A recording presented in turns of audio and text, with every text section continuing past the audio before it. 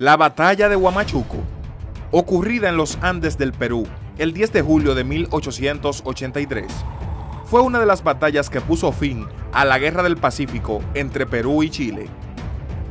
El 8 de julio, el general Andrés Avelino Cáceres, al mando del batallón peruano, decidió no tomar el camino hacia Santiago de Chuco para poder llegar a Huamachuco.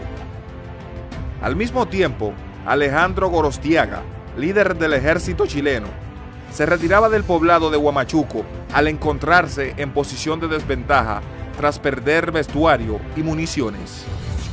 El 9 de julio de 1883, algunas compañías de Cáceres que ocupaban el pueblo de Huamachuco se acercan al Cerro Sazón intercambiando fuego de fusilería con las fuerzas chilenas que se encontraban parapetadas en las alturas.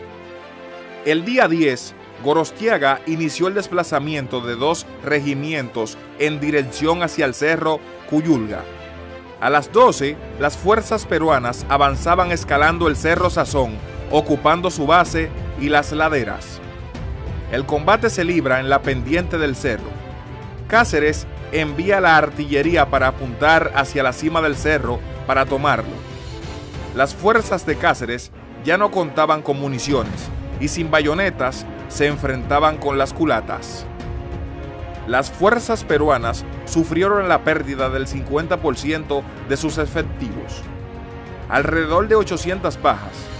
Chile encontró 500 muertos en el campo de batalla.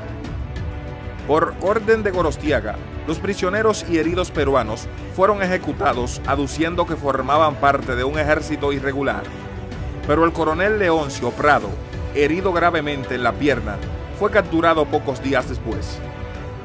El mayor chileno, Aníbal Fuendaliza, narró al historiador Nicanor Molinari que cuando interrogaron a Leoncio Prado del por qué habían incumplido su promesa de volver a pelear, Prado afirmó que en una guerra de invasión y de conquista como la que hacía Chile y tratándose de defender a la patria, podía y debía empeñarse la palabra y faltar a ella.